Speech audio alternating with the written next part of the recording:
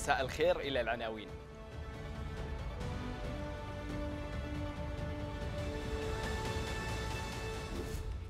وزير الخارجية يجب وقف إطلاق النار في غزة ومعالجة الأزمة.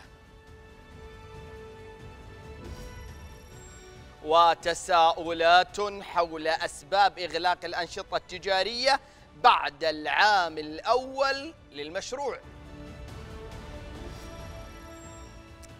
الترشيد والتحلية جهود حثيثة لتوفير مصادر المياه والحفاظ عليها.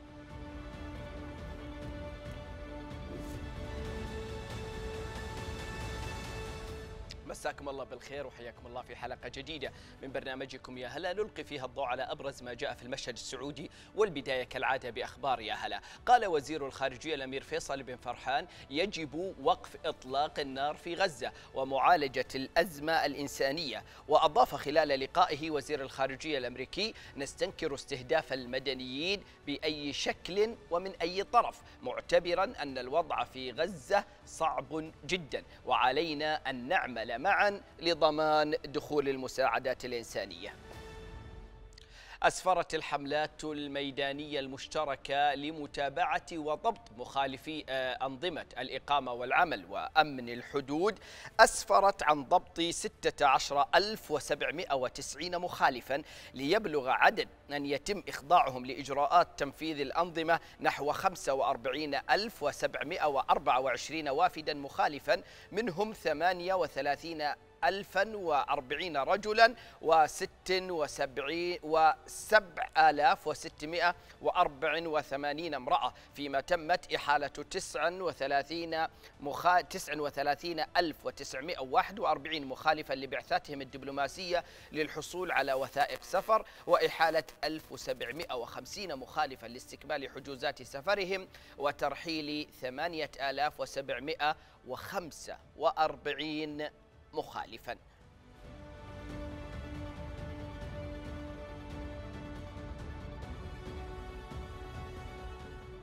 أعلن المركز الوطني لتنمية الغطاء النباتي ومكافحة التصحر عن تسجيل 195 مخالفة بيئية في أراضي الغطاء النباتي في جميع مناطق المملكة خلال الشهرين الماضيين. وتنوعت المخالفات بين الاحتطاب ودخول المركبات في الفياض في الفياض المحمية والراعي في المناطق المحمية ورمي النفايات وإشعال النار في الأماكن غير المخصصة لإشعال النار والتخييم في غير الأماكن المصرح بها حيث صدرت العقوبات العقوبات النظامية بحق المخالفين وفقا لأحكام اللائحة التنفيذية لتنمية الغطاء النباتي ومكافحة التصحر.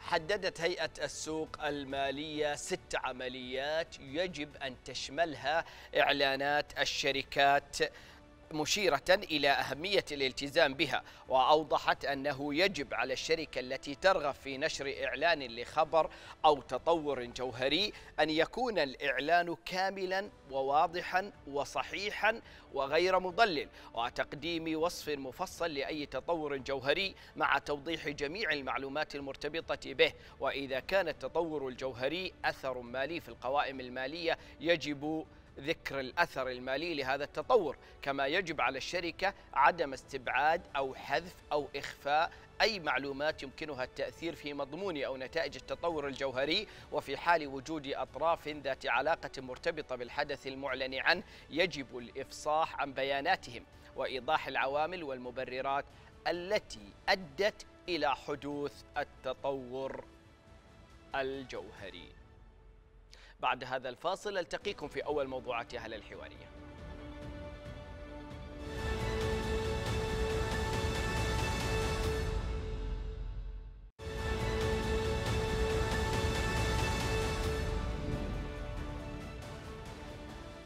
حياكم الله مجددا في أهلا.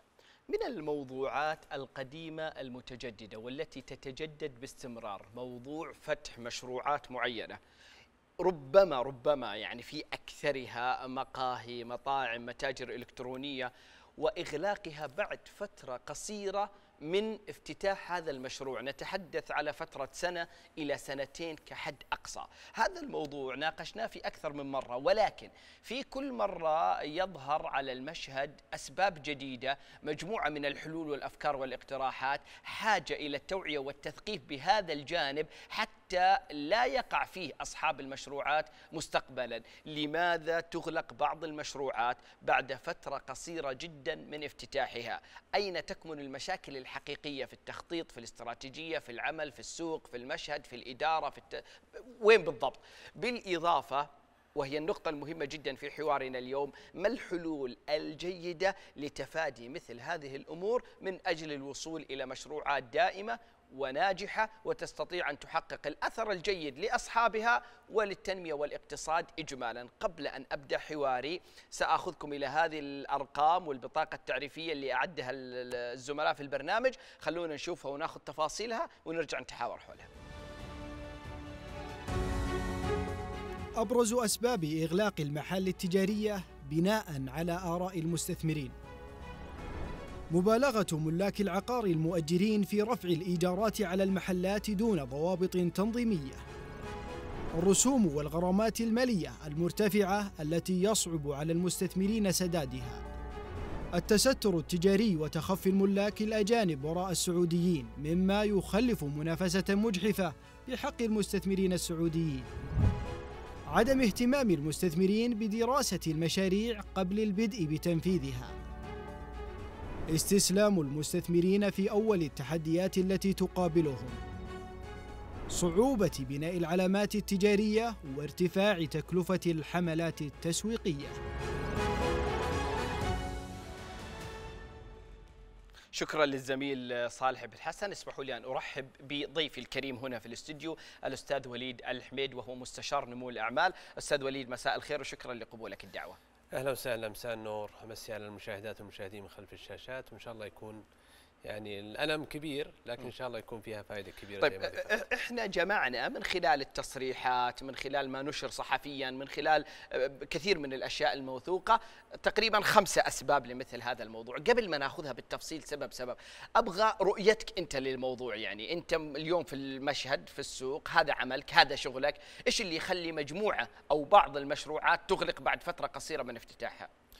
جميل. طبعا خليني أبدأ بنقطة أنا دائما أتكلم فيها إنه دائما إحنا لما نطلع مثل هاللقاءات إنه السوق جميل وممتاز وفي فرص كثيرة ولا هو بالموضوع تنفير من القطاع أو السوق ولكن إنه نعرف كيف ندخل السوق نعرف كيف ندرس السوق بشكل كويس نعرف كيف نغتنم الفرص بشكل كويس. الشيء الثاني يمكن الناس تزعل علي في النقطة هذه ليس كل الأشخاص يصلح أن يكون تاجر. هذه نقطة مهمة جدا يعني. معليش يزعلون علي البعض ولكن لا لا لا عيدها عيدها إيه هذه إيه جملة جوهرية. يعني إيه. أنا نقطة دائما أعيدها إيش تقول؟ ليس كل الأشخاص؟ ليس ليس كل الأشخاص يصلح أن يكون تاجر. ليه؟ وش وش مميزات يعني التاجر أعتقد يعني؟ أنه التجارة يعني آه هذه يعني هبة من رب العالمين. أنت لازم يكون عندك صبر لازم يكون عندك شغف لازم يكون عندك حماس حماس. لازم تبحث بالسوق تعرف وش التجارب السابقة يصير عندك صبر تقدر تعطي من وقتك تقدر تعطي من جهدك.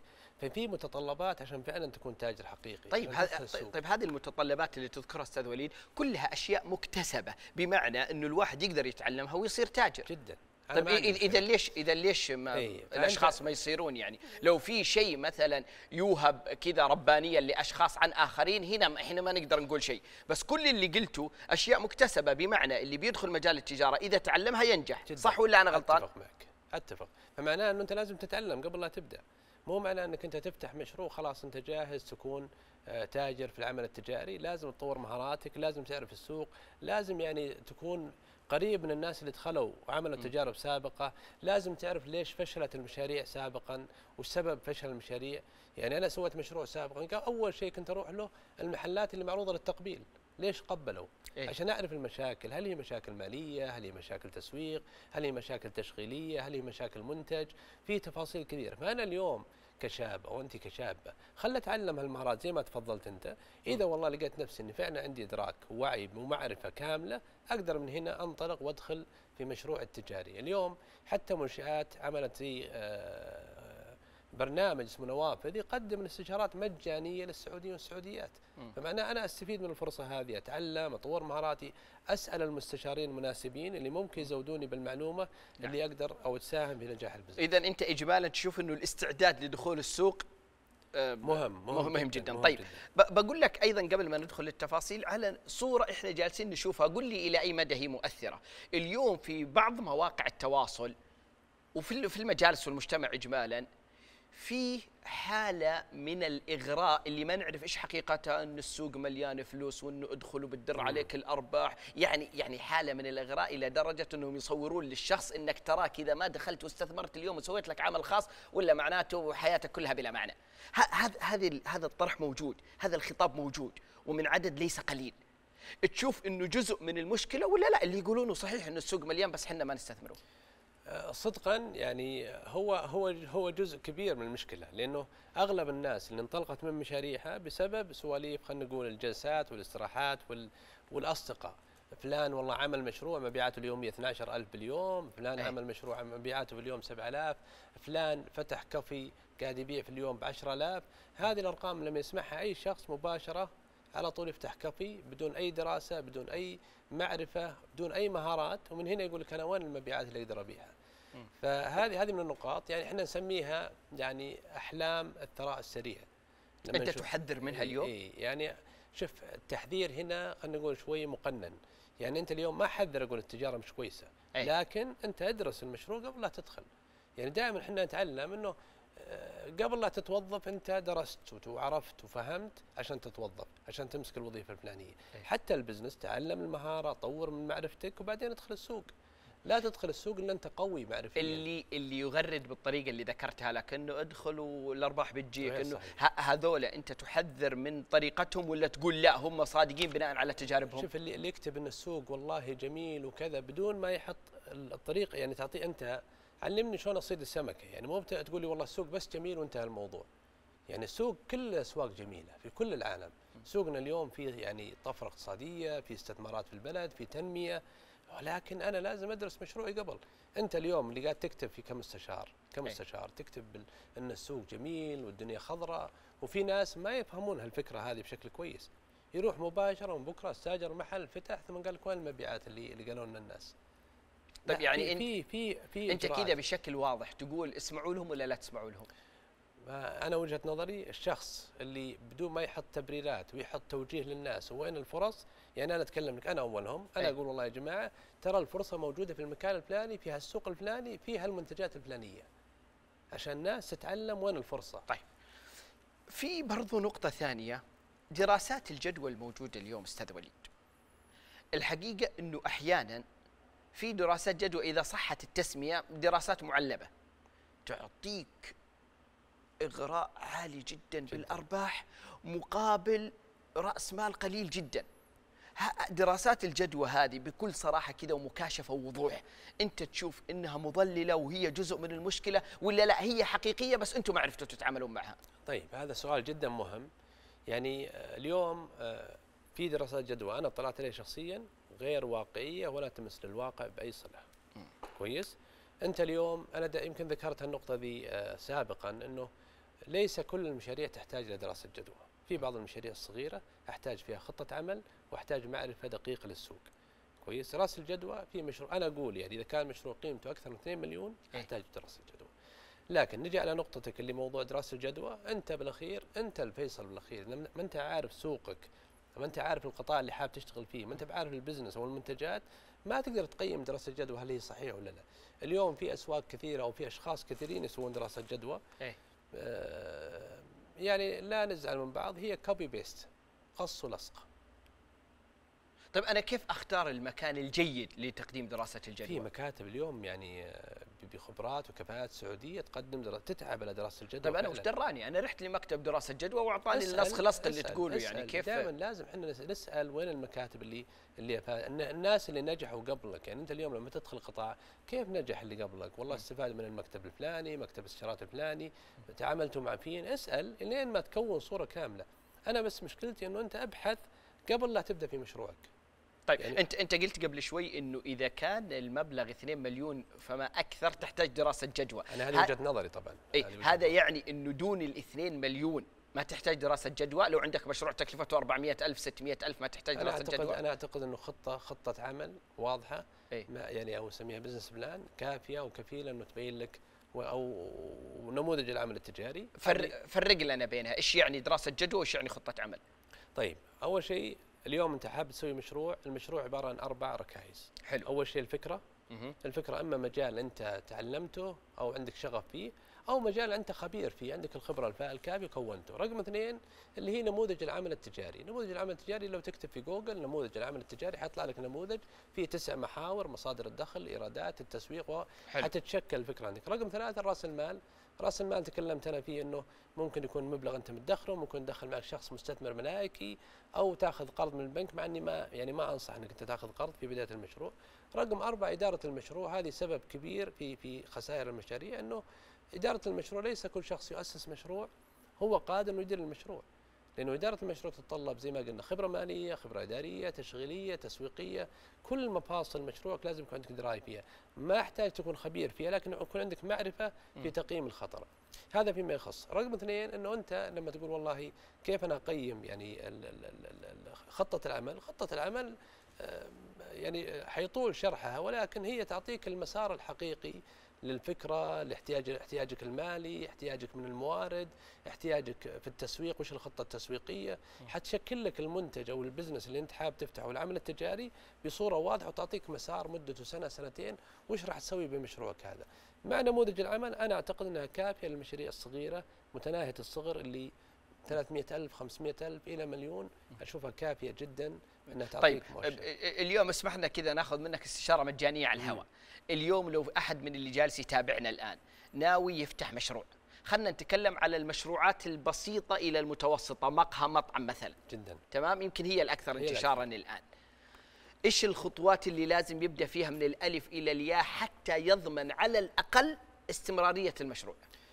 أول شيء أنا أشوف إنه يعني كثير من الناس أول ما يبدأ في المطعم والمقهى يفكر في البراند أو العلامة التجارية. هذا مو هو النجاح. النجاح المهم أنت تفكر وش المنيو اللي حتبيعها.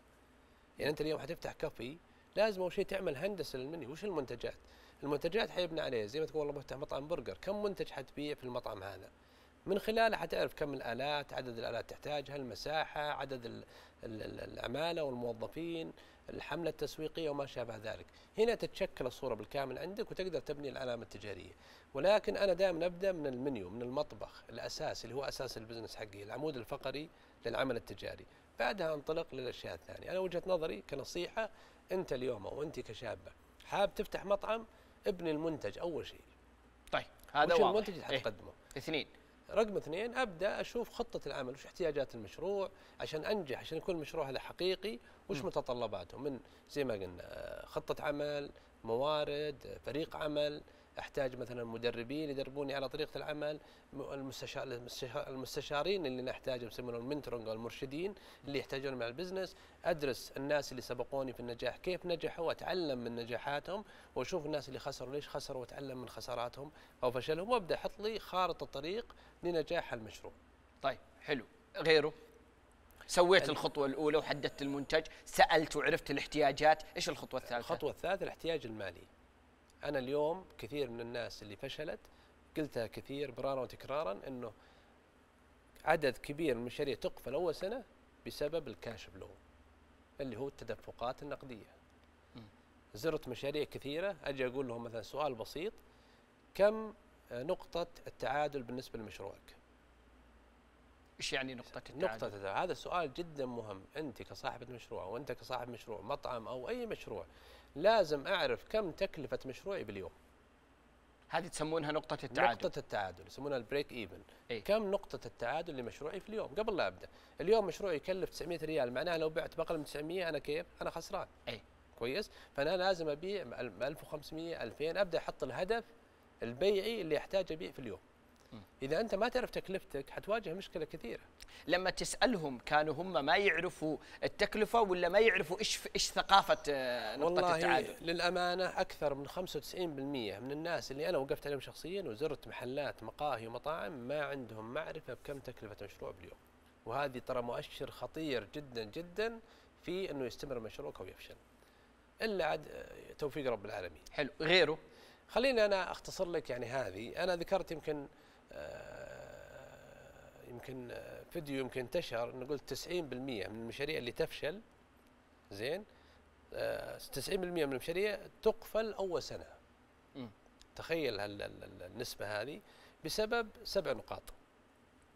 أول نقطة استخفاف رائد الأعمال أو اللي بادئ في البزنس في تكاليف المشروع. كويس؟ يعني مشروع يكلف 300 ألف يقول لك والله أنا أبدأ ب 60 ألف كافية بمشروعي استاجر بدأ بالديكورات وقفت فلوسه بالكامل. معناه المشروع هذا يعتبر مشروع خسران لأنه عمل سجل تجاري وعمل التراخيص اللازمة. رقم اثنين اللي هي مهمة استخفاف المستثمر في رقم المبيعات. يعني أنت اليوم والله أخذت معلومة أن شخص باع ب 7000 أو 10000 جيت بنيت بنيت مشروعك انه حبيع ب 10000 بينما موقعك ما يساعد تبيع بهالمبلغ هذا ولا عندك المنتجات ولا عندك فريق العمل الكافي لبيع هالمنتجات. رقم ثلاثة آه، عدم معرفة تكاليف المنتج وهذا اللي ذكرناه قبل شوي إنك أنت قاعد تبيع منتج للناس يعني خلينا نقول برجر أو كافي أو ما شابه ذلك إيه. ما تعرف تكلفته كم التكلفة الحقيقية. فأنت الآن نهاية المطاف ما تعرف أنت ربحان ولا خسران. تجي نهاية الشهر ما تدري أنت فعلا قاعد تحقق أرباح تجي نهاية الشهر يقول والله نحتاج والله 30000 أو 10000 نغطي هالتكاليف هذه ما تدري منين الخسارة.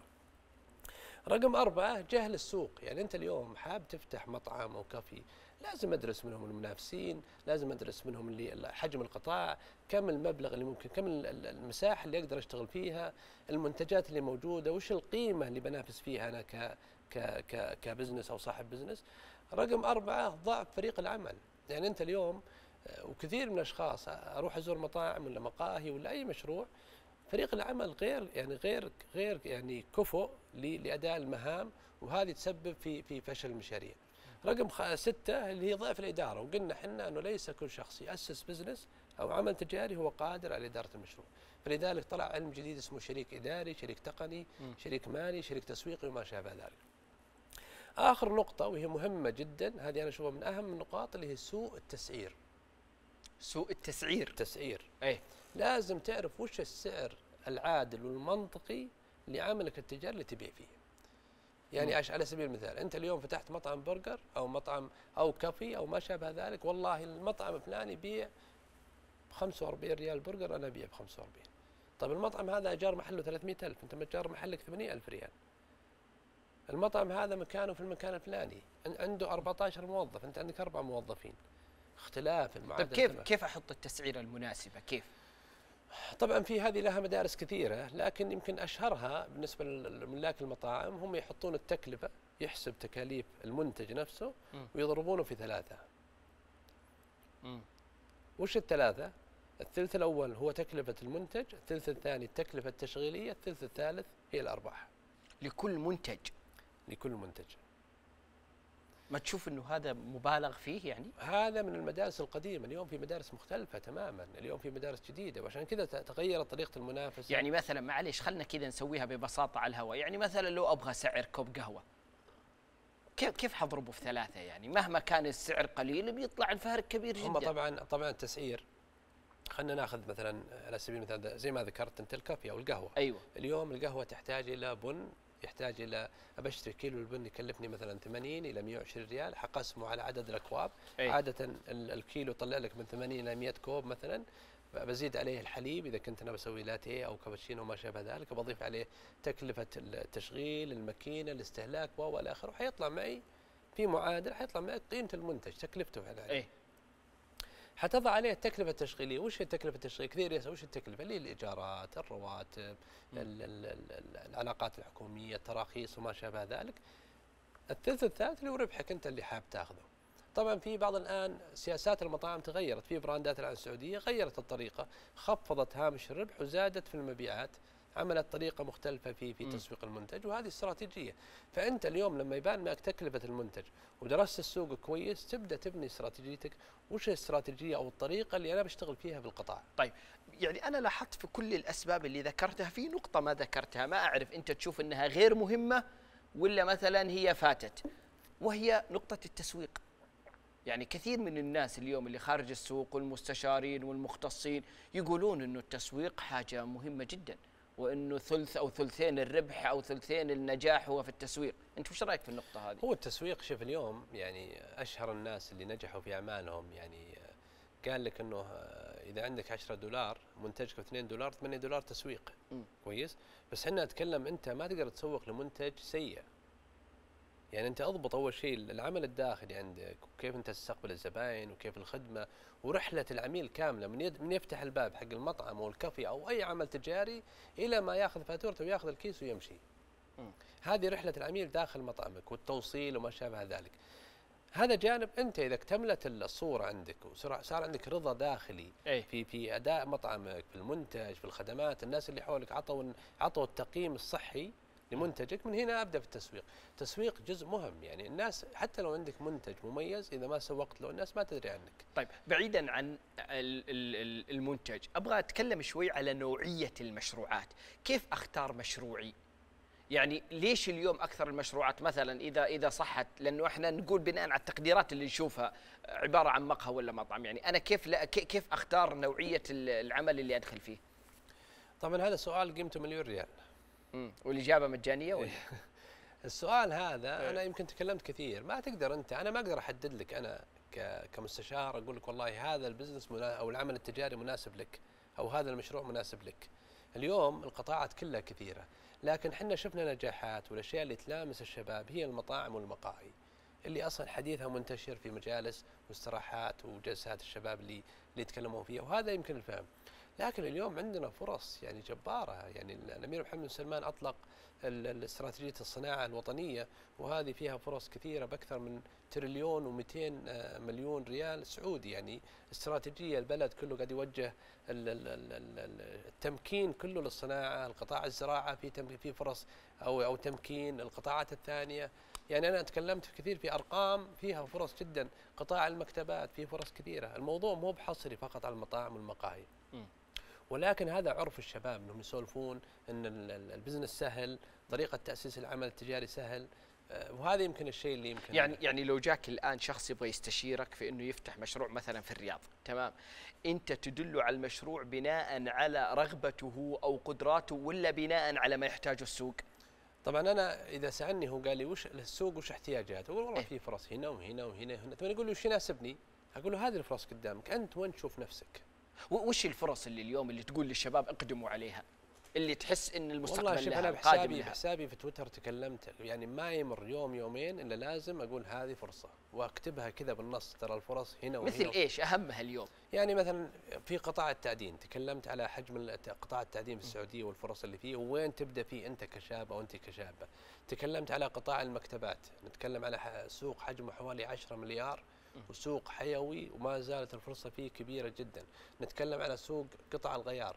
أنت عارف اليوم قطاع التأمين بدأ وهيئة التأمين اصدرت رسميا. آه، شركات والحوادث معناه قطع الغيار هذا قطاع لسه ما اشتغلوا فيه الشباب. اشتغلوا فيه ولكن باستحياء فيه فرص جدا كبيرة. نعم. السعودية تستورد أعتقد أنا ماني يعني ما ودي لكن حوالي 93 مليون قطعة سنويا. هذا الرقم طيب أنا وين دوري؟ القطاع الطبي أنا تكلمت قبل حوالي ثلاث أيام في في في سناب شات عن القطاع الصحي نتكلم على 26 ألف منتج طبي يستورد من خارج السعودية. مم. 94% من هالقطاع هذا مشتريات حكومية. فأنت اليوم عفوا 94% مستورد من برا السعودية. طب أنت اليوم كشاب آه، في أشياء بسيطة نتكلم على آه، حقة الإصابات هذه المشدات نتكلم على كمامات نتكلم على أشياء بسيطة وتتكلم على معمل بسيط ما يكلف نفس تكلفة المطعم أو المقهى اللي أنت حاب تسويه. اليوم المطعم والمقهى يكلف مليون ونص. تقدر تسوي مصنع بهالقيمة هذه. ما نقول مصنع كبير ولكن مصنع بدايته بسيطة. خط خط إنتاج واحد. أنا تكلمت في المناسبة يمكن آه، آه، ال- النقاط اللي ذكرتها. قلت إنه ماكينة القهوة هذه اللي يجيبونها بال- بالمقاهي قيمتها حوالي 75000 إلى 90000 بينما خط إنتاج إنك تسوي قهوة مم. قهوة خط إنتاج قهوة عربية تبيعها في المحلات على الرفوف قيمتها 65000 خط الانتاج. من التعبئه لين التغليف. فهنا لك الخيار أما انك تفتح كافي ولا تفتح مصنع. طيب. هذه ببساطة يعني. الي- اليوم آه، صناديق التمويل الموجودة بشكل منتشر جدا تقريبا في أغلب المجالات على مستوى المملكة. كيف تشوف أثرها في دعم المشروعات؟ والله اليوم شوف يعني أقول لك يعني خلال الثلاث سنوات الأخيرة يعني الاستثمار الجريء عمل أرقام جدا كبيرة. نتكلم على 200% حجم استثمارات في القطاع أو الاستثمار الجريء. هذا معناه إنه في إيمان عندنا في تمكين للمنشآت الصغيرة ومتناهية الصغر. اعمل مشروعك اعمل نموذج العمل وسوقه بالشكل المناسب. يعني أنا اليوم كمستثمر إذا ما شفت إن الشخص اللي قدامي عنده وعي كامل في مشروعه عارف وش الطموح حقه عارف عنده رؤية واستراتيجيه واضحة وعارف الأرقام اللي حيوصل لها أنا كمستثمر ابى أضخ معك 5 مليون 10 مليون لازم أضمن إنه فعلا ال 5 مليون هذه حتشتغل فيها بكل أمانة وصدق وجهد. جميل. ال- الأرباح هذه والخسارة هذه يعني لها لها ظروف. طيب إحنا تكلمنا اليوم من وجهة نظرك كمستشار وإنه تعطي مثل هذه التوجيهات لكل الداخلين. خلني أقول لك بعض وجهات نظر اللي دخلوا في هذه المشروعات ولم ينجحوا وأسمع رأيك فيها. يعني واحدة من الأشياء اللي قيلت إنه المبالغات اللي تحدث معهم في رفع الإيجار السنوي مثلا بين وقت ووقت. هذه النقطة كيف تقرأها؟ طبعا شوف عشان تكون بالصورة يعني هذه من الأشياء يمكن حتى أنا على مستوى شخصي واجهتها. أي. يعني آه، في العمل التجاري إنه جو المؤجر وهذا يعني أنا أشوف إنها غير طبيعية يعني وغير صحية. أنت اليوم في مشاريع وهالمشاريع هذه هي جزء من المنظومة الاقتصادية في البلد. فلازم يكون في تقنين على موضوع الإيجار لازم يكون فيه يعني إذا كان في فرصة إنه يحط يصير فيه مرونة في عملية رفع الإيجارات إنه ما يجي شخص مثلا في سنة واحدة يرفع مثلا 70% 80% 100% لأنه فتحت منشأة حكومية جنب المجمع أو فتحت جهة معينة أو صارت المنطقة حيوية، طب أنا بديت معك من الصفر. لما كان ما في أي منشأة جنبك، ما كان فيه أي كثافة سكانية، فهذه لها تقدير. آه، أعتقد إنه هذه واحدة من الأسباب المهمة. طيب و- وش الحلول لتفادي هذه المشكلة؟ أعتقد من الحلول إنه زي ما ذكرنا إنه يكون في إيجاد يعني آه، فيما يخص الإيجار أي. تكون نسب محددة، في بعض الدول تقول لك أنت مالك حق ترفع في سنة واحدة أكثر من هالنسبة هذه. مم. فأنا أعرفها خلاص كصاحب مشروع أحط لها معادلة، معادلة المخاطرة عندي ما تزود عن 30% أجار في نهاية السنة، هذه في اسوء الأحوال، في حال لو زاد. أنا أعتقد إنه تقنين هالموضوع هذا، طبعا ما في شك إنه صاحب ال- ال- العقار، العقار عليه غالي يعني، يقول أنت لو طلعت بيجي بدالك 10. والمشكلة وين؟ إنه انت أنت مشروعك لما يعني تنجح في مشروعك أول سنة ولا ثاني سنة إيه. ترى المشروع ما يعود رأس ماله إذا كان يشتغل بالطريقة الطبيعية إلا بعد ثلاث سنوات. معلش نعيد المعلومة هذه. المشروع- المشروع إذا اشتغل بطريقة طبيعية ما يرجع رأس ماله إلا بعد ثلاث إلا سنوات بعد ثلاث سنوات. المطاعم والمقاهي عشان الناس تعرف إذا اشتغل بالطريقة الطبيعية ترى في مشاريع تجيب رأس مالها بأقل من سنة. أي. كويس؟ هذه تعتبر نادرة ولا قليلة؟ هذه قليلة. طيب. كويس؟ لكن الطبيعي أنت طبيعي عشان تعيد رأس مالك لا يقل عن ثلاث سنوات. ممكن في سنتين ونص لكن ثلاث سنوات هذا الطبيعي في حال إنك اشتغلت على مشروعك بالشكل الصحيح. طيب في موضوع الإيجار عشان نقفل النقطة هذه هل هل من ضمن الحلول الممكنة أنه صاحب المشروع يوقع عقد إيجار طويل مع صاحب العقار؟ والله هذه شوف عشان تكون بالصورة اليوم العقد ملزم. يعني اليوم العقد سنة تنفيذي. لأنه الآن مرتبط فيه أي. فهذه يعني أنا أرجع أقول لك أول كانت الناس توقع خمس سنوات لأنه بالأخير هي إيصال م. وأنا لي حق إني ألغي في أي لحظة لكن اليوم أنت إذا ما سددت حيكون سند قضائي ضدك إنك تدفع إلا إذا أنت فعلا لقيت مشروعك والله مكتمل أركان واضح. ممكن أقول والله بطريقة شفهية. أي. أنا دائما أنصح إنه تفاهم مع الناس. حتى لو تعمل ورقة خارجية باتفاق مبدئي جميل. إنه يا جماعة أنا معك خمس سنوات عشان تقدر تحمل البزنس حقك. طيب من النقاط أيضا اللي اشتكوا منها وذكروها إن الرسوم والغرامات أحيانا اللي تفرض على المشروع تكون كثيرة وكبيرة وبالتالي ما يستطيعون سدادها، يمكن شفنا الجدول الجديد للجزاءات والمخالفات اللي أصدرته وزارة الشؤون البلدية والقروية والإسكان، لكن في المجمل العام وش وجهة نظرك في هذه النقطة؟ شوف عشان أكون معك صريح أنا كثير أشوف في في مواقع التواصل الاجتماعي موضوع مثلا ال- الغرامات والمخالفات اللي تصير على رواد الأعمال ورائدات الأعمال أو أي. الناس اللي بدأوا في المشاريع هذه. آه، في بعضهم يعني يقولوا إنه أنا اقفلت مشروعي بهالسبب هذا وفي بعضهم يقول لك لا إنها تسبب مضايقات لنا. ولكن أنا دائما أقول عشان ما الناس بس في جانبين. الجانب الأول أنت اليوم داخل أو مقدم على مشروع. لازم أعرف الإجراءات والمتطلبات الخاصة في مشروعي. أنت اليوم تبيع أكل يعني راح تأكل الناس. فلازم أتأكد إنه هالاكل هذا يقدم بجودة كويسة ومحمي ومضمون للناس اللي تقدم لهم. هذا جانب فيما يخص أنت كمالك مطعم أو أنت طيب. كمالكة مطعم. فيما يخص مثلا على سبيل المثال الناس تتكلم على إجادة. إجادة أنا عندي نقطة جدا مهمة. أنت أنت يا شركة إجادة قاعد تقدمين تأخذين مخالفات وتطبقين الأنظمة اللي عملت من الأمانات والبلدية. إيه. كويس؟ طيب وش الدور المجتمعي اللي انت سويتيه للمجتمع؟ يعني وش الدور المجتمعي؟ هي مي بالموضوع فقط ازور واصور واعطي مخالفة.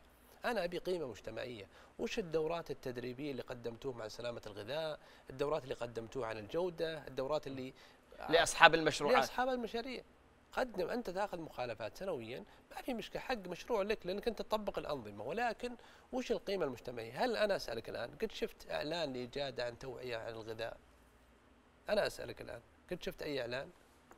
يعني أنا ماني متابع جيد لهم لكن حقيقة حسابهم في تويتر جيد يعني جيد فأنت اليوم سو حملة يعني حملة. يعني مثلا أنا قبل الحلقة دخلت على حسابهم في تويتر وشفت جيد لكن أنت تقصد إنه هل وصلوك مع أي. مع الوقت يعني خلال إيه العام إيه إيه فأنت اليوم لازم أعمل حمله توعي الناس الشباب والشابات إذا كان في دورات تقدم لهم حتى لو برسوم بسيطة إذا أنت ما تقدر تقدم مجاني جيب الكفاءات أنت اليوم قاعد تقول للناس أنتم عندكم مشكلة وخ- وغرامة طق غرامة. طب عطني توعية.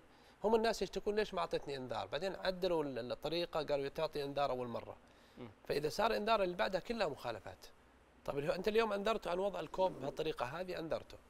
جيت مرة أعطيته مخالفين المرة الثانية أعطيته مخالفه شيء ثاني. فأنا وجهة نظري إنه أنت دورك كاجاده اعمل التوعية المناسبة قدم الدورات. بالعكس أنا حريص إنه كل المنشآت الغذائية تكون جودتهم عالية لأني أنا باكل بالأخير منهم وبأكل مثلا آه، العوائل كلها تأكل فأنت مهم أو تطلب منهم مهم إني آخذ أكل سليم. وشكرا إجادة. ولكن أعطوا الناس توعية أعطوهم التدريب المناسب عشان يكون في كفاءة ويكون في موازنة بهالعمل التجاري. واضحة وجهة نظرك وحقيقة أنه أيضا نتمنى أنه نسمع وجهة نظر إجادة في هذا الموضوع سواء من النقطة اللي أنت ذكرتها أو من الحوارات اللي ممكن تصير بينهم وبين أصحاب المشروعات حتى نوصل لنقطة توافقية في هذا الموضوع.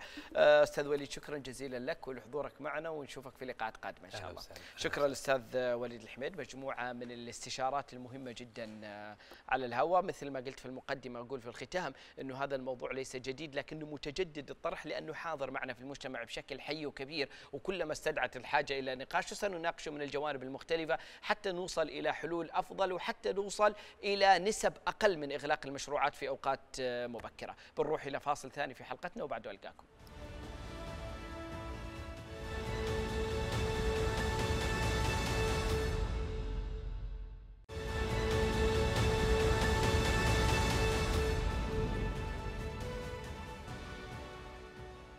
حياكم الله مجددا في هلا. الدكتور محمد الغامدي خبير المياه والأكاديمي السابق في جامعة الملك فيصل كتب مقالا في صحيفة اليوم عنوانه متى تكون المياه قضية كل مواطن وتحدث فيه عن تحديات المياه وخص المياه الجوفية بكثير من الحديث في هذا الموضوع. يعني سنتحدث معه عن تفاصيل هذا المقال وعن أبرز الجزئيات التي جاءت فيه فيما يخص الأمن المائي اليوم الموجود ومدى وفرة المياه وطريقة التعامل معها والحذر من بعض المشكلات التي قد تؤدي إلى نقص أكبر في موضوع المياه خاصة وأنه هذه واحدة من المشكلات اللي تجتاح العالم ككل وواحد من التحديات اللي ينبغي أنه يكون في حذر كبير في طريقة التعامل معها.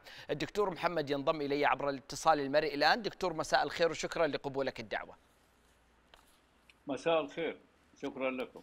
أهلا وسهلا. دكتور أبدأ معك من جزئية في مقالك تقول فيها إن مهمتي العلمية منصبة على قراءة المؤشرات وتشخيص المشاكل وتحديد الاحتياجات وتقديم الرؤى والأفكار ومتطلبات الاحتياجات. هذا ما فعلت كنتيجة استمريت في الدفاع عن المياه الجوفية. قراءة المؤشرات هذه اللي ذكرتها إلى ماذا أدت واوصلتك إلى الآن؟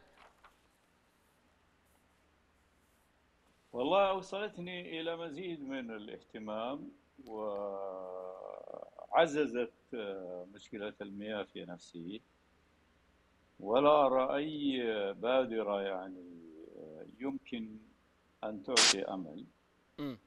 رغم الإجراءات الكثيرة جدا ولكن ما زال الاستنزاف من مياهنا الجوفية يتعاظم.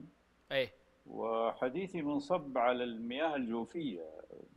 في مناطق الصخور الرسوبية التي تمثل ثلثي مساحة المملكة العربية السعودية.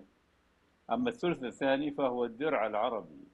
والدرع العربي يختلف تماما عن آه، المياه الجوفية غير المتجددة في الصخور الرسوبية.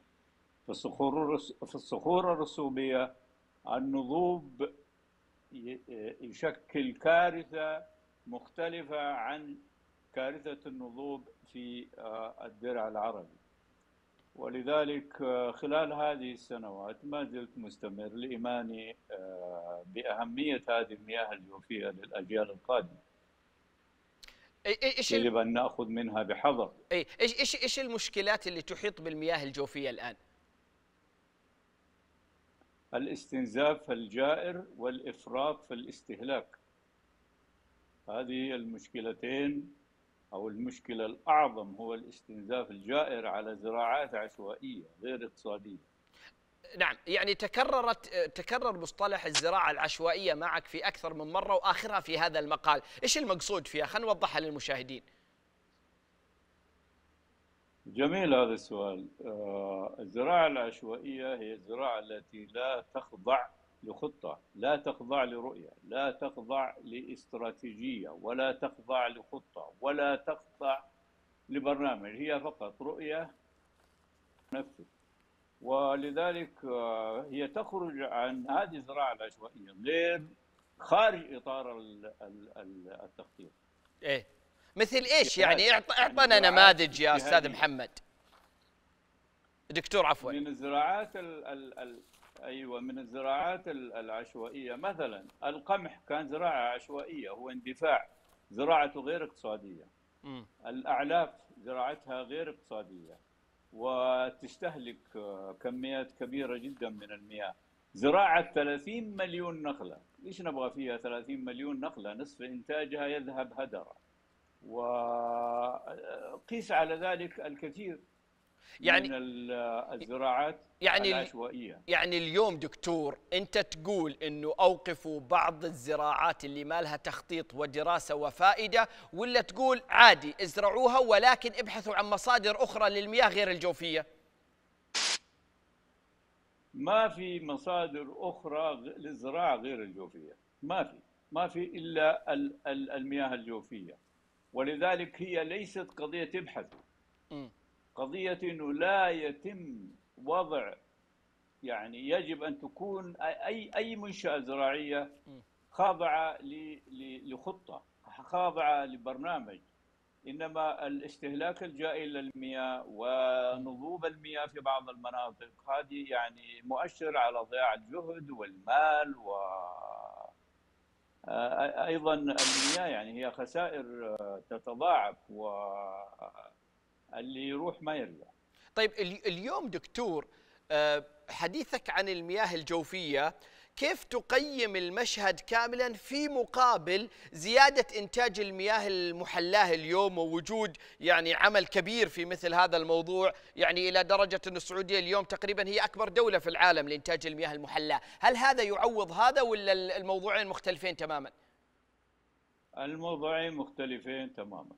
لننسى موضوع المياه التحلية هذه التحلية ممكن مقدور عليها للشرب مع إنه يمكن 40% أيضا من المياه اللي تصل بيوت هي من من المياه الجوفية. إحنا نتكلم عن المياه الجوفية التي تمثل استهلاكها يمكن يمثل حوالي 80% من الاستهلاك الزراعي والسكني وأيضا الصناعي. المياه الجوفية هي الأهم هي المحور هي لا تكلفنا شيء أبدا. التحلية يعني آه، مكلفة جدا وغير اقتصادية للزراعة.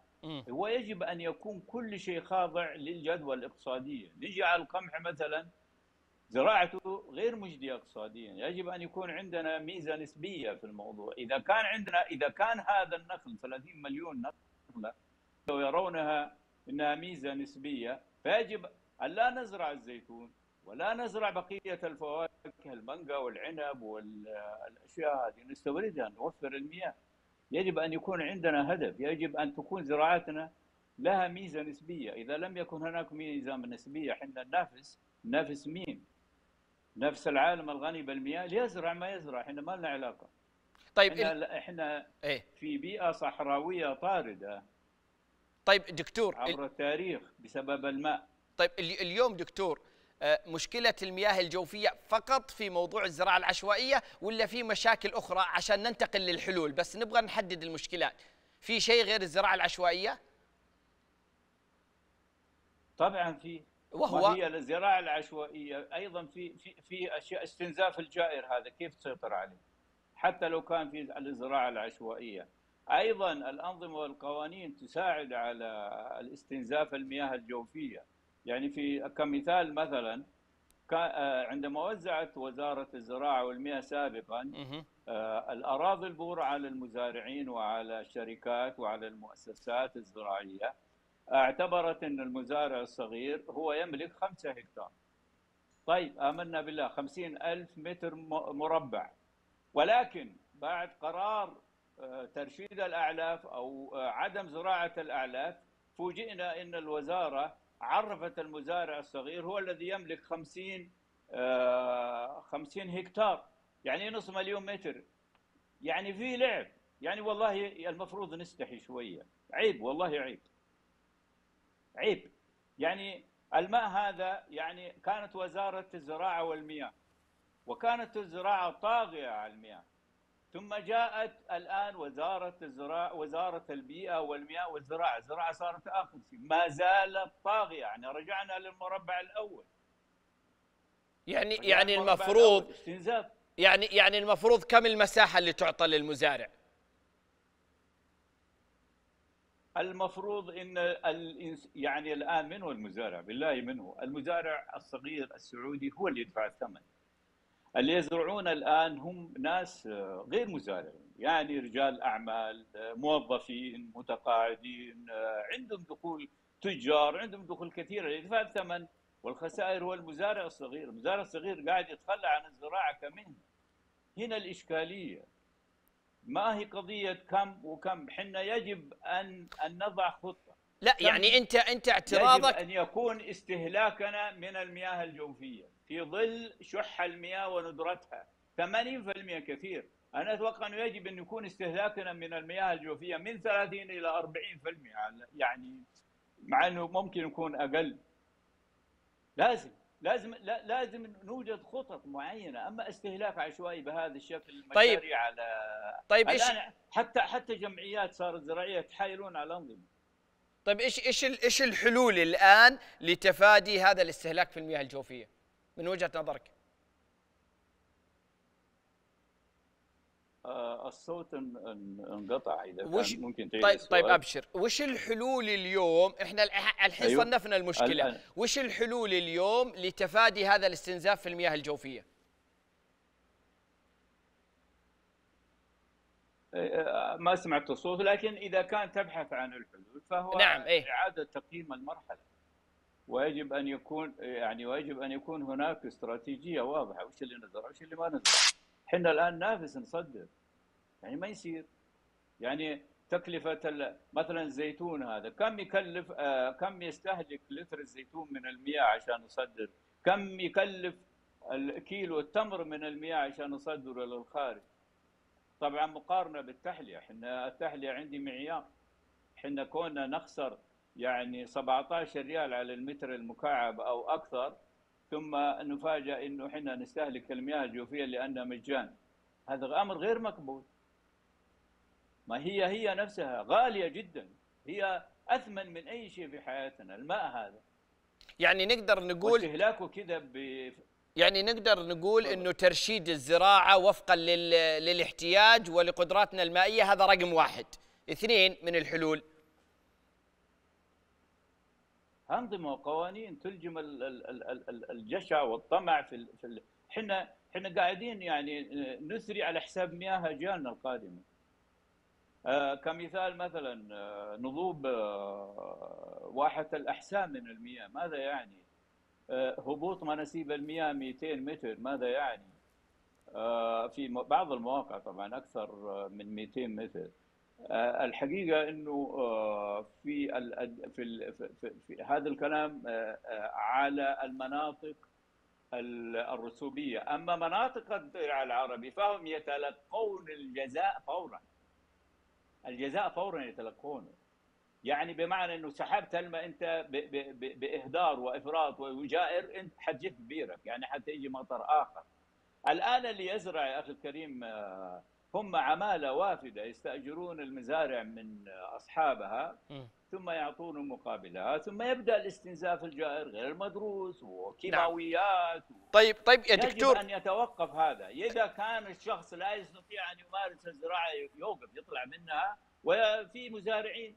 المزارع كمهنة نشجع المزارعين السعوديين. طيب دكتور اليوم كميات هطول الأمطار قياسا بما يستنزف من المياه الجوفية هذا ممكن يعوض هذا أو يعادله ولا الفرق بينهم كبير؟ يا رجل ما ينزل عندنا أمطار. وش تتكلم عن إيش؟ اللي نزل هذا مثلا في مناطق بسيطة إيه؟ آه, آه، الاستنزاف في مناطق الدرع, الدرع العربي آه أكثر من التعويض بعشر مرات. أما الصخور الرسوبية فما يوصلها شيء. لا تنسى إنه نسبة البخر من 300 من 3000 إلى 6000 ملم يعني تبخر حتى ماء المطر.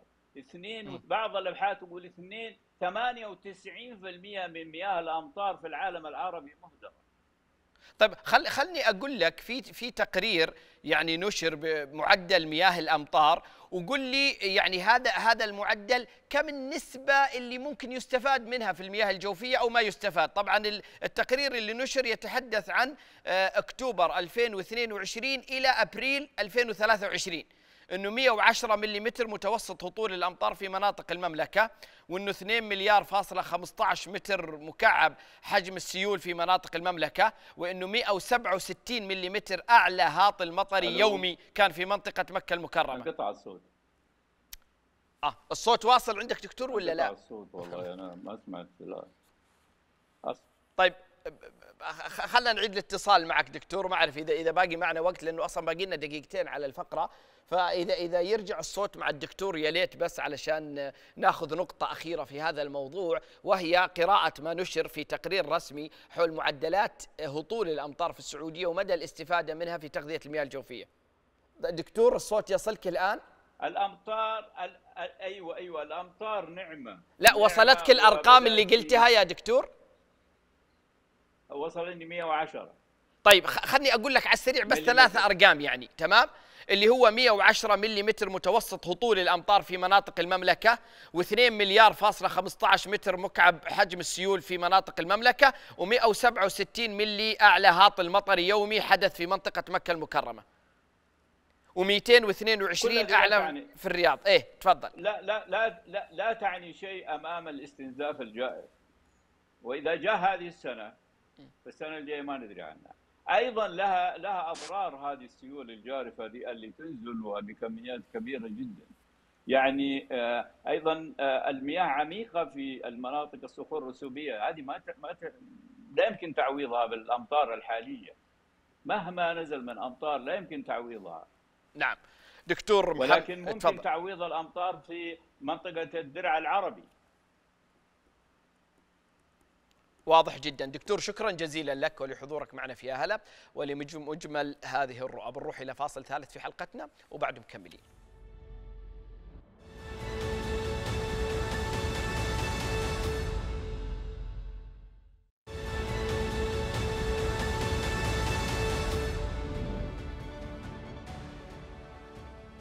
حياكم الله مجددا في هلبات المركز الوطني للرقابة على الالتزام البيئي يرصد من خلال 240 محطة منتشرة في جميع مناطق ومدن المملكة جودة الهواء في السعودية ليتمكن من خلالها الجمهور من أخذ الاحتياطات اللازمة لتجنب المناطق التي تقل بها جودة الهواء. إجمالا الاهتمام بهذا الموضوع هو من الموضوعات الرئيسة والمهمة جدا واللي اليوم تعطي دلالة كبيرة على اهتمامنا بالتفاصيل على متابعة كل المؤشرات المهمة في هذا الجانب وفي غيره. اليوم سنفرد كثير من الحديث حول هذا الموضوع وحول المركز مع ضيفي الكريم الذي ينضم إلي هنا في الاستديو الأستاذ سعد المطرفي وهو المتحدث الرسمي للمركز الوطني للرقابة على الالتزام البيئي أستاذ سعد مساء الخير وشكرا لقبولك الدعوة. حياك الله مساء النور ومسي على مشاهدي روتانا الخليجية الكرام. أهلا وسهلا. قبل ما ندخل لموضوع آه، تقنية الهواء تنقية الهواء وغيره خلينا نأخذ كذا صورة مضيئة حول المركز بصفة عامة ونحط المشاهدين في الصورة. ممتاز. المركز في خلال آه، إنشائه خلال الثلاث سنوات الماضية الآن مهتم بثلاث أمور رئيسية جودة الماء والتربة والهواء. بمعنى وضع الضوابط والاشتراطات لجميع المنشآت متابعة إنفاذ اللوائح والأنظمة البيئية تحقيق آه هذه الأمور آه نضع لها جميع الروابط لتحقيق تطلعات القيادة الرشيدة. آه وهذا فيها أهمية جدا لوضع توازن أو إيجاد توازن بين التنمية وبين حماية البيئة. هذا باختصار ما يقوم به المركز، تفتيش، تقييم، وضع معايير، إصدار تصاريح، إصدار تراخيص. الأوساط البيئية كاملة مثل ما ذكرت الماء والتربة والهواء. هذا نعم المخالفات أو العقوبات من ضمن مهام المركز لا شك لا شك لا شك أي منشأة من أصغر منشأة إلى أكبر مصنع. م. يتم هناك عندنا فرق تفتيشيه إحنا عندنا تقريبا 350 مفتش على فكرة. وهذا 350 مفتش أخي مفرح. قام في في خلال الربع إلى الربع الثالث بداية الربع الثالث 25 ألف جولة تفتيشية على جميع المنشآت تخطر على بالك أي منشأة لها أثر بيئي ستخضع إلى التفتيش والمتابعه. جميل، وش أبرز الأشياء اللي رصدوها خلال هذه الجولات التفتيشية؟ عادة تكون شوف خلينا هذا سؤال مهم جدا. ما هو الهدف من الجولة التفتيشية؟ إي لملاحظة أي تلوث قد يحدث من هذه المنشأة. الآن. المنشآت أيضا ملزمة بتقديم تقارير إلى المركز. وتقارير على وضعها وأيضا على فيما يخص الماء التربة الهواء. الماء والتربة والهواء. في لو حدث في التقارير هناك أي خلل أو في القراءات من المفتش مباشرة نبحث عن أسباب ونعطيهم أيضا فرصة لتصحيح الأوضاع. فإذا كان هناك أي تلوث لأنه إيش معنى التلوث هذا أخي مفرح؟ التلوث ليس فقط على السكان في المنطقة حتى العاملين. فإحنا يهمنا أيضا صحة العاملين وصحة عائلات العاملين. فهناك يكون التنبيه مباشرة إلى إلى المنشأة إنه أنت عندك خلل هنا قد يسبب تلوث أو قد يكون عندك أنت ملوث معين في في هذه المنطقة وبالتالي السعي لتصحيحها ومعالجتها فورا. طيب وش وش أبرز اللي رصدتوا يعني؟ شفتوا إنه مساحه ومدى الالتزام أكبر ولا المشكلات أكبر من الالتزام؟ وش اللي رصدتوه في الجولات؟ عادة الرصد يكون هناك تلوث هوائي في في في في الاوساط أحيانا بعض المحطات مثلا يكون هناك تلوث للتربة. أحيانا يكون هناك مثلا ملوثات في انسكابات مثلا زيتية في في في في الماء في في البحار في في مياه الاقليميه وهذا ربما نعرج عليها لاحقا عن موضوع التنميه والتعويل اللي إحنا نقوم فيه. فعندما يكون هناك تلوث هوائي من المنشآت بالذات المصانع إيه؟ فورا ننتبه لها ونبدأ نحذر يعني إحنا عندنا زي ما قلت لكم 240 محطة إيه؟ لقياس جودة الهواء في المملكة. أي مكان يتم رصد تلوث هوائي في هذه المنطقة إيه؟ مباشرة آه تباشر الفرق نعم. وتحاول أن آه إذا كان من المنشآت إبلاغ المنشآت وإذا كان من غير المنشات إبلاغ الجهات المختصة. ودي أعرف وش الإجراءات، يعني اليوم مثلا أنتم رصدتم إنه في تلوث هواء عند منشأة معينة. م... إيش إيش تسوون؟ إيش الإجراءات؟ المنشأة المعينة مباشرة نحن نتم إبلاغ المنشأة هذه إلى هذا الملوث إذا كان هناك آآ آآ إهمال من المنشأة يتم مخالفة المنشأة وعلى فكرة المخالفات من 5000 ريال إلى 5 مليون ريال. تبدأ العقوبات من تبدأ من 5000 ريال إلى 5 مليون ريال.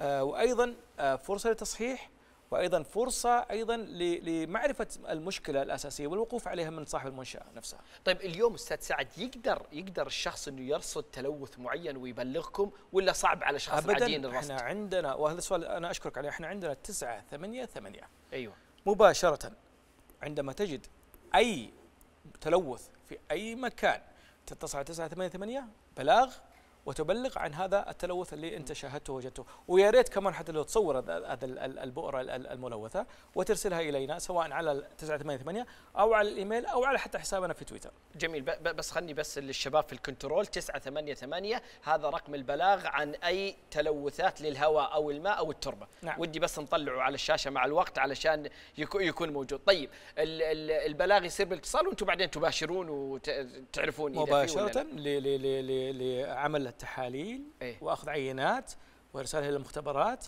وعلى فكرة مثلا جودة الهواء أيه؟ إحنا كل خمسة دقائق عندنا قراءة. كل خمس دقائق. كل خمس دقائق. كل خمس على دقائق. مدار اليوم. على مدار اليوم. وعندنا تقارير تطلع تقارير يومية على كافة مناطق المملكة العربية السعودية. وتقارير أسبوعية وتقارير شهرية وتقارير سنوية. فيعني الموضوع القراءة كل خمس دقائق هذه تعطيك آه، دقيقة جدا آه، في في في النتائج والتقارير كيف يقاس؟ عندنا بالأجهزة. عندنا أجهزة استشعار وعندنا أجهزة تقاس ال AQI ونبدأ تأخذ هذه القياسات ترسل إلى الوحدة المركزية عندنا أي. وتبدأ بعد كذا تطلع حنتكلم عن جودة الهواء طبعا. أي. وتطلع القراءات بعد ذلك وتبدأ ترسل النتائج. والنتائج على فكرة حتى لو تبغى تحطها الآن على الهواء ترى موجودة الآن. طيب إيش تقول النتائج عن جودة الهواء في السعودية تعطيك ثلاث أشياء. طيب. إما هواء نقي أو صحي ومعتدل وغير صحي. والفضل من الله سبحانه وتعالى لم نرصد إلى الآن آه، غير صحي أو خطر. آه، جميع القراءات إلى الآن إنه آه، صحي وجيد وهو الأخضر. وفي بعض الأحيان نادرة جدا يصل إلى الأصفر وهذا مقبول في التقارير والقياسات. وأيضا معناته ان هناك سيطرة على الأجواء في حد المعقول التي أو الذي لا يضر صحة الإنسان. جميل بس أنا أنوه للمشاهدين أنه على الشاشة الآن الرقم واضح أمامكم 988 هذا الرقم للإبلاغ عن أي تلوث والتواصل مع المركز الوطني للرقابة على الالتزام البيئي. مشكورين حقيقة أنهم يسهلوا كل هذه الأمور حتى نتشارك جميعا في إيصال رسالة التثقيف والتوعية والرقابة بما فيها. طيب ال ال أو أول شيء كلام مبشر جدا نعم. إنه إنه جودة الهواء بهذه الجودة، الرصد في مناطق المشهورة بالمصانع بكثرتها آه، بمحطات التحلية وغيرها، كيف كانت الأجواء فيها؟ أنا أشكرك على السؤال. لأنه آه، آه، أحيانا ياتينا السؤال إنه فين تحطون المحطات أو فين موجود المنتجات؟ هذا هو الإجابة الحقيقية. نحن نركز المحطات في هذه المناطق التي إيه؟ إحنا نتخوف أن تطلع منها آه، غازات سامة لا سمح الله تؤثر على صحة الإنسان. فهذه المناطق الصناعية والمنشآت التي قد تصدر منها بعض الملوثات هناك تركيز عليها من المحطات لقياسها. وأيضا بفضل الله سبحانه وتعالى أنها تحت المقبول والمعتدل وليس فيها أي آه، ما يثير المخاوف على صحة الإنسان لأنه آه، جودة الهواء عندنا من ضمن الاستراتيجية الوطنية المحافظة عليها. وهذه أيضا مستقاة من استراتيجية المملكة في رؤية 2030 وهي جودة الحياة. فحتى ينعم المواطن بجودة الحياة. أيضا هناك يجب أن يكون هواء نقي وصحته في في في في حال عالية جدا. الأجواء صحية ونقية يستطيع العيش فيها والتمتع بجميع الأنشطة في بدون أي ملوثات. جميل. وإلى الآن لم ترصدوا أي حالة غير صحية للهواء في السعودية؟ الحمد لله لا. الحمد لله. طيب اليوم على مستوى الأرقام ودي تاخذنا شوي لبعض الإحصاءات والأرقام وبالذات فيما يتعلق بموقف المملكة عالميا في موضوع جودة الهواء وترتيبها نعم. إذا في أرقام أو أرقام من عندكم في المركز. إحنا إحنا أهم رقم عندنا إيش هو؟ إحنا نقيسها بالدول وأنا أرجع أقول هي مرة ثانية وأنا أتمنى أنك تعرضها. أيه؟ نحن نقيسها دائما بالقراءات. حلو. بيننا وبين الناس القراءات. أيه؟ الأخضر يسود النقاط في المملكة العربية السعودية وحطوها على الهواء وبالعكس شوفوا أنتم بنفسكم. أيه؟ عندما تقيس وهو مشاهد يقيس ما بين الدول الأخرى والدول المملكة العربية السعودية يجد أن جميع المحطات التي في المملكة العربية السعودية على ال 240 محطة على 19 موزعة في المملكة العربية السعودية تعطي قياسات منخفضة وليس فيها اي اي أي تلوث, بيئي إيه؟ في الأجواء وفي الهواء الذي قد يشكل خطر على الناس. الآن هل تقيس هذه بالدول الأخرى؟ نحن نترك الناس يقيسون. طيب وين معلنة هذه الأرقام؟ موجودة على موقع المركز آه الداشبورد الخاص بالمركز مكتوب عليه مؤشر الهواء جودة الهواء في السعودية ويدخل عليه ويشوفوا بنفسهم لايف موجود. جميل عظيم طيب النقطة الثانية فيما يخص المستقبل يعني أنتم وش الهدف الاستراتيجي اللي عندكم مستقبلا في خصوص جودة الهواء قبل نعم. ما نروح للماء والتربة نعم نحن آه، في آه، من ضمن استراتيجيتنا في المركز الوطني للرقابة على الالتزام البيئي أن أيضا آه، آه، يفتح المجال للاستثمار أيضا في هذا المجال. والاستثمار إحنا نقصد فيه آه، في الرصد وفي المختبرات وفي أيضا الاستشارات. ترى إحنا أخي مفرح في 2019 كان عندنا مكتب واحد اللي إحنا رخصناه. وإحنا رخصناه نعطيك رخصة للمزاولة الأنشطة البيئية. الآن في في في السعودية عندك 184 مكتب مرخص من قبل المركز. هذه كم في المية زيادة؟ عليك الحساب. 2019 كان واحد. كان واحد. واليوم واليوم عندك 184 مكتب. 84 إيه. نحن متجهين إلى ونشجع الاستثمار ونشجع الحصول على تراخيص في الأنشطة البيئية في مجال الرصد، في مجال المعامل، في مجال المختبرات، في مجال حتى التفتيش، في في مجال حتى الاستشارات البيئية وفي كل المجالات. جميل. كيف تشوفوا مدى التزامهم وتجاوبهم المكاتب هذه؟ معكم مع خططكم أهدافكم جدا جدا لوائحكم؟ جدا ملتزمين وهذا الدليل. إحنا عندما أصدرنا قبل شهر تقريبا بدأنا في في في الموقع اعلنا على جمع التقارير. هناك تجاوب عالي جدا من هذه المكاتب. وبالعكس إحنا وجدنا لأنه ترى فكرة يعني هذا سوق جديد. م. الآن سوق البيئه سوق اقتصادي مهم جدا. وهذا السوق آه يعني بدأوا الناس تستوعب أهميته. وهذا هو سبب القفزة الكبيرة من مكتب واحد في 2019 إلى 184 مكتب في 2023 في أرقام مستهدفة معينة مع الوقت؟ إحنا تمنينا أن لا لا نهاية. طيب تسمح لي آخذ فاصل ونكمل. تفضل. فاصل ونكمل لكن قبل الفاصل بصراحة يعني نقطة ممتلئة بالتفاؤل وبالجمال وبالمنجز. إنه اليوم لما تكون واحدة من أكبر الدول النفطية على مستوى العالم ويكون تلوث الهواء عندك آه، يكاد يكون معدوم والقراءات كلها تعطي هواء صحي فهذه من الأشياء المبشرة جدا اللي تخلينا نشكر الأساتذة الكرام جميعا في المركز والقائمين على الأعمال في المصانع ولا غيرها. بنروح إلى فاصل وبعده مزيد من الحوار حول تلوث الهواء أو التربة أو الماء. خلوكم قريب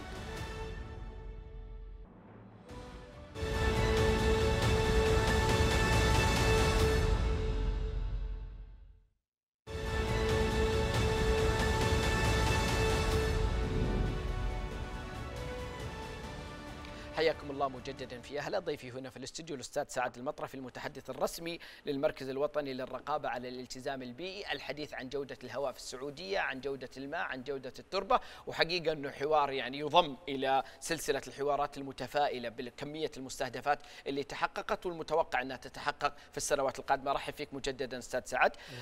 نقطة أخيرة في موضوع الهواء على مستوى الثقافة العامة. نعم. اليوم إحنا لما نمر من عند محطات التحلية من عند المصانع من عند كل مكان نشوف الدخان نشوف يعني الأشياء اللي تنبعث. نعم. هذه إيش مدى مأمونيتها؟ هل هي تلوث ولا لا؟ شوف يعني ما في أجواء ما فيها هذا الدخان تتكلم عنه. بس إحنا نقيس إيش نقيس؟ نقيس آه عناصر معينة ونقيس كمية العناصر هذه. إيه؟ هل هي إذا وصلت لحد معين معناته هنا مؤشر خطر يزداد. الغازات آه، موجودة في كل مكان. لكن إحنا نقيس هل الكمية وصلت إلى حد أنه والله مؤشر خطر عندنا في المؤشر يعطينا والله خطر ولا لا؟ إيه. آه، أول أكسيد الكربون أول أكسيد ثاني أكسيد الكربون النيتروجين وهكذا. فهذه موجودة في كل مكان لكن الإنسان لا يتخوف منها فقط مجرد النظر إليها. هو في الأخير المؤشر عندك والأجهزة اللي عندك هي تعطيك القراءة أنه والله هنا زاد الموضوع عن معدل الطبيعي وبدأ نخش في في مرحلة الخطر لأنه الكمية زادت أو الغازات زادت أكثر. نعم. طيب والمؤشرات تقول عندكم أن الوضع آمن تماما. آمن تماما وأنت تقول للناس كذا بالفم المليان أنه لا تتخوفوا من أي تأثيرات صحية لهذه الأشياء اللي تشوفونها. إنها كلها تحت السيطرة وإذا كان هناك أي قراءة للأجهزة سيتم التعامل معها فورا من قبل المركز ومن قبل الجهات المختصه وأضيف إليها إنه لو أنت شاهدت إنه في زيادة معينة أو شكيت في شيء اتصل على 988 وإحنا نتابع الموضوع. تماما تماما. طيب حلو. هذا فيما يخص الهواء وأشكرك على هذه الإجابة الواضحة جدا. خلينا نروح للماء والتربة. كيف رصدكم لها؟ في تلوثات معينة في مشكلات عندنا في موضوع التلوث فيها ولا الوضع آمن أيضا؟ شوف يعني أرجع وأقول لك هي نفس الموضوع هذا. إذا وجدنا هناك أي بؤرة إيه؟ آه فيها اشتباه بالتلوث أو فيها والله خطر يعتقد أن قد يكون خطر على على السكان أو المناطق أو أيا كان تؤخذ عينات إلى المعامل والمختبرات وتتم تحليلها وإذا وجدت انها فعلا فيها تلوث وخطر جدا إيه؟ يتم التعامل معها بالجهات المعنية اللي خاصة بهذه الآلة حلو بس مؤشراتكم إلى الآن أستاذ سعد إيش تقول بخصوص الماء وبخصوص التربة؟ الماء بصفة عامة في السعودية ما في شيء لا إحنا نتكلم عن الأوساط المائية إحنا نقوم بتجربتها دائما حلو وأخير مثال لهذا الموضوع هي الأوساط المائيه مثل الآبار لكن عندما إحنا نتكلم على آه، عندما نتكلم عن المياه إحنا انت تتكلم على المياه الاقليميه هذه مسألة أخرى. إحنا نتكلم على التربه إذا وجدنا آه، بؤر آه، متدهورة إحنا عندنا الآن برنامج لإعادة تأهيل البؤر المتدهورة حتى يتم إعادتها إلى الحياة مرة أخرى ويتم إعادة تنقيتها مرة أخرى جميل. لتكون من بؤرة متدهورة إلى بؤرة صحية التعامل معها. جميل. أنتم يمكن في المركز تعرفوا هذا المصطلح بؤرة متدهورة بس نعم. الجمهور ما يعرف. البؤرة المتدهورة إيش هي؟ عبارة عن إيش؟ متدهورة معناته إن بؤرة تلوثت وصارت غير صالحة التربه غير فيها باختصار أو أقول لك باللهجة البسيطه آه، ما يمكن الزراعة فيها ما يمكن الاستفادة منها ما يمكن التعامل معها لأنها ليس- طبيعية لأنها ملوثة. إيه. فهذا تجي كيف؟ تجي من أخذ العينات. إيش اللي يلوثها؟ ايا كان معها زيوت؟ عوامل زيوت قد تكون آه، تسرب من محطات بنزين قد يكون في بعض ال- العوامل اللي مرت عليها ايا كان من الملوثات الملوثات كثيرة جدا لكن في الأخير همنا هو إعادة إحيائها مرة أخرى وهذا هو طيب يعني تصريف مياه الصرف الصحي أحيانا نعم. هذا يعد عندكم من ضمن الملوثات ولا له حدود معينة معمل فيها كيف يتعامل التراب. مع هذا الأمر تصريف المياه الصرف الصحي يفترض لها أماكن مخصصة تعرفها الشركات التي تتعامل مع هذا الموضوع إيه. وتعرفها ال- الجهات التي تتعامل مع حتى السائقين ولكن وهذا سؤال مهم جدا وأعيدك إلى 988 إذا إيه. وجدت في مكان عام والله أحد آه، مشهد لتصريف مياه الصرف الصحي في غير المكان أو في مكان مأهول بالسكان وغير مخصص لهذا الموضوع فايضا عندك البلاغ 988 هذا مخالف. نعم هذا مخالف. ويعاقب. ويعاقب من الجهات المختصة. جميل. شكرا لهذا الوضوح أيضا. قبل ما أختم معك هذا اللقاء في تجربة خلني أسميها ملهمة يمكن عملتوها نعم. ودي أخذ منك نتائجها. التمرين التعبوي لانسكاب الزيت نعم. أو انسكابات الزيت. نعم. كان فيها تجربة عملية حية واقعية. قلنا لنا بعض تفاصيلها. هذا حقيقة آه، قبل يو- آه، في يوم ال- ال- الاثنين والثلاثاء آه، قمنا بالتمرين الثلاثاء والاربعاء عفوا التمرين التعبوي استجابة 12 وهذا 12 آه، أو التمرين رقم 12 في في في هذا المجال.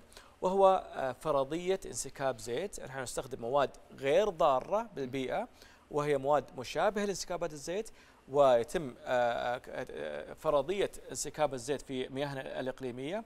والتجاوب السريع من قبل آه، 50 جهة في المملكة العربية السعودية بإشراف وإدارة المركز الوطني للرقابة على الالتزام البيئي ونقيس سرعة الاستجابة لهذا الموضوع. أحب أبشرك بحاجة مهمة جدا.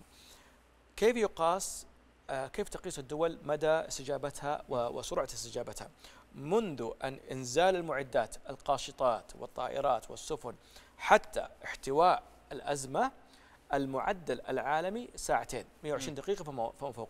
نحن وبفضل الله سبحانه وتعالى ثم بقدرات شبابنا السعوديين والقدراتنا التقنية والمعدات القياس عندنا في سرعة الاستجابة 50 دقيقة. آه ما شاء الله. وهذا حقيقة إنجاز عظيم أقل من. ساعة. أقل من ساعة. يعني إحنا هنا موفرين 70 دقيقة تقريبا. أقل من ساعة نعم. إحنا آه، أيضا عندنا آه، آه، يعني ال- ال- القدرة على احتواء 75 ألف برميل. من من من الزيت المسكب اذا إحنا على استعداد إن شاء الله لحماية مياهنا ال- ال- الإقليمية وحماية شواطئنا. تعرف فيها جهات خاصة قطاعات خاصة في قطاعات حكومية فيها هذا اقتصاد يتاثر فيها سياحة تتأثر فيها الحياة البحرية تتأثر.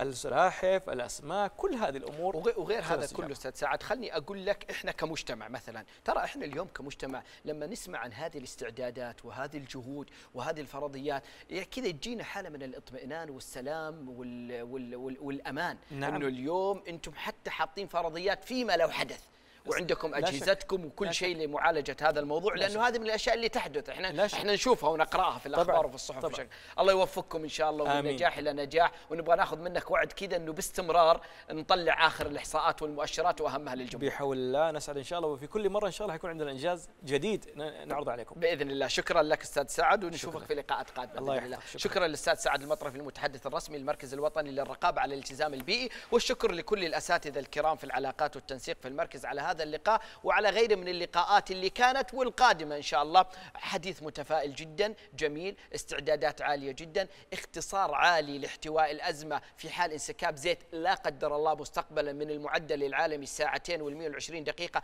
إلى 50 دقيقة. مؤشرات الهواء والتربة والماء مهمة. يمكن من النقاط الرئيسة والجوهرية والمهمة اللي أتمنى أنه كلنا كمجتمع اليوم نتعاون فيها ألا وهي رقم البلاغ اللي هو 988 واللي ممكن نتعاون فيه مع المركز من أجل أنه نصل إلى مراحل أعلى في جودة الهواء والتربة والماء. شكرا للاستاذ سعد وشكرا لكل من تابع هذه الحلقة. غدا يتجدد معكم يا هلا ليوصل صوتكم ويحكي همومكم ويفتح نافذة أمل. صبحون على خير.